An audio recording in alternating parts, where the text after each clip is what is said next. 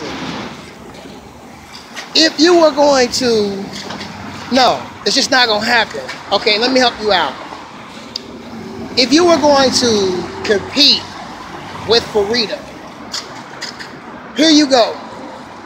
100% every single time. Every time. It don't matter if you just got a divorce. It don't matter if somebody died. It don't matter if you were sick. It don't matter if you didn't feel like it. It don't matter if your life changed.